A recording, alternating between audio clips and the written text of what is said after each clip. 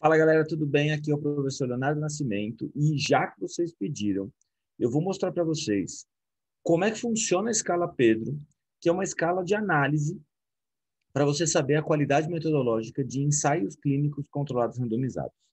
Tá bom? Então, se você gostou desse, vai gostar desse vídeo, se você curte o canal, então se inscreve, ativa as notificações, compartilha esse conteúdo com quem você acha que precisa ouvir isso.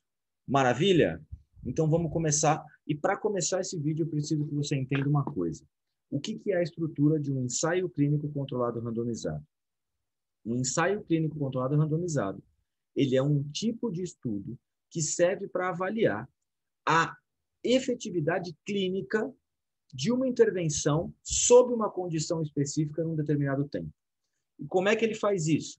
Ele faz isso através de um tipo de estudo, que é o ensaio clínico controlado randomizado, que se caracteriza por ter uma pergunta que a gente chama de pergunta PICOT. P-I-C-O-T. O que, que são essas, essas letras? O que querem dizer essas letras? P quer dizer uma população. I quer dizer uma intervenção. C quer dizer um controle ou uma comparação. O quer dizer outcomes, desfechos, o que foi avaliado nesses pacientes. E T, qual é o tempo?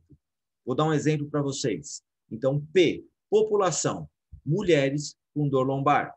I, intervenção, manipulação vertebral. Uh, C, comparação, exercícios.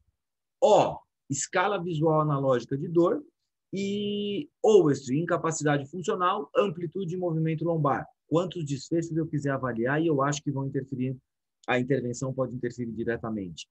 T, quatro semanas de tratamento de 45 minutos. Então, todas as vezes que vocês olharem um ensaio clínico controlado randomizado, vocês têm que conseguir identificar o PICOT, população, intervenção, controle ou comparação, outcomes, desfechos e tempo.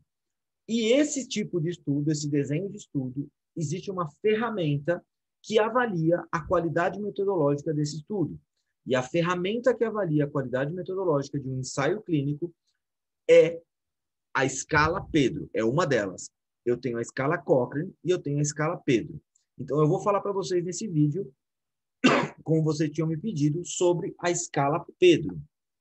Então deixa eu compartilhar minha tela aqui com vocês para mostrar para vocês o que, que é a tal da escala Pedro. Está aqui, ó. Escala Pedro em português Brasil. Se você colocar exatamente como está aí no título, no Google, você vai encontrar a escala Pedro.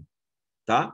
Então, primeira coisa da escala Pedro, primeiro item, você vai marcar lá sim, não, e aí onde isso foi feito no texto.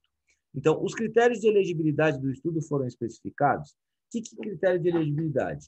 Então, é assim: quem foi incluído nesse estudo e quem foi excluído e por que foi excluído. Isso foi bem especificado no texto? Foi. Você marca assim. Onde? Onde foi colocado. Segundo ponto da escala Pedro. Os sujeitos foram aleatoriamente distribuídos por grupo. Num estudo cruzado, os sujeitos foram colocados em grupos de forma aleatória de acordo com o tratamento recebido. Então, por exemplo, eu não posso escolher o tipo de paciente que vai receber uma intervenção e o tipo de paciente que vai cair no placebo no controle. Então, esses sujeitos foram divididos de forma aleatória. Então, a chance de cair em qualquer grupo era a mesma para qualquer indivíduo que participou do estudo? Sim. Aonde ele descreveu isso? E aí você olha lá no, no, no, no estudo. Outro, três. A alocação dos sujeitos foi secreta? Então, essa divisão dos sujeitos em grupos foi feita. Só um minuto que eu vou colocar meu computador na tomada a alocação desses sujeitos em grupos foi feita de forma secreta, ou seja, os indivíduos não sabiam que grupo eles se encontravam. Esse é o ponto importante. Sim, não e aonde foi. Quatro. Inicialmente, os grupos eram semelhantes no que diz respeito aos indicadores de prognóstico mais importantes. Então, você vai ver que no ensaio clínico ele tem uma tabela que chama de baseline. Essa tabela de baseline diz o seguinte: a média de idade dos grupos era igual, a média de escala visual analógica de dor era igual? A média do questionário tal era igual? Então, inicialmente, esses pacientes tinham as mesmas características ou tinham um grupo que era muito diferente do outro? Se foi muito diferente do outro, esse estudo já está enviesado. Então, isso pode diminuir a, a qualidade daquele, daquele estudo. Cinco, todos os sujeitos participaram de forma cega do estudo, que é aquilo que eu falei. Ninguém tem que saber que grupo que ele está, se ele está no placebo ou se ele está no tratado. Se ele souber, não é mais placebo. Seis, todos os terapeutas que administraram a terapia fizeram de forma cega. Isso é um problema para a gente. Quando a gente trabalha com terapia manual, com fisioterapia, quem vai aplicar a técnica de terapia manual, ou osteopatia, ou a técnica que for, ele tem que saber se ele vai aplicar a técnica de manipulação ou o placebo de manipulação. Então, cegar o terapeuta em estudos fisioterapêuticos é muito difícil. É muito mais fácil em estudos médicos, por exemplo, que tem medicamento, né? que aí você dá um medicamento para um, medicamento para outro, os pacientes tomam da mesma forma e você não sabe qual, qual, qual é cada um. Agora, estudos fisioterapêuticos de intervenção manual, por exemplo, são quase impossíveis, praticamente impossíveis de você cegar os terapeutas. Número 7. Todos os avaliadores que mediram pelo menos um resultado-chave fizeram de forma cega. Ou seja, quem avaliou esses pacientes, quem avaliou o desfecho desses pacientes, sabia de onde vinha o paciente, se ele era do grupo tratado, do grupo placebo?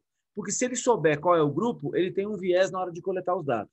Se ele não souber, ele não tem esse viés. Então, o que, que eu preciso? Eu preciso de um avaliador cego. Oito, as mensurações de pelo menos um resultado-chave foram obtidas em mais de 85% dos sujeitos inicialmente distribuídos pelos grupos. O que, que é isso? Eu não posso perder mais de 15% dos meus pacientes no estudo. Então, por exemplo, eu comecei com 100 pacientes. Se eu começar com 100 pacientes, eu posso perder no máximo 15. E se eu perder mais de 15, quer dizer o quê? Que essa intervenção pode estar piorando os pacientes, machucando os pacientes, levando algum efeito colateral. Então, o que, que acontece com isso? Eu tenho uma perda amostral grande. Então, se minha perda amostral passar de 15%, eu não tenho esse ponto na escala Pedro.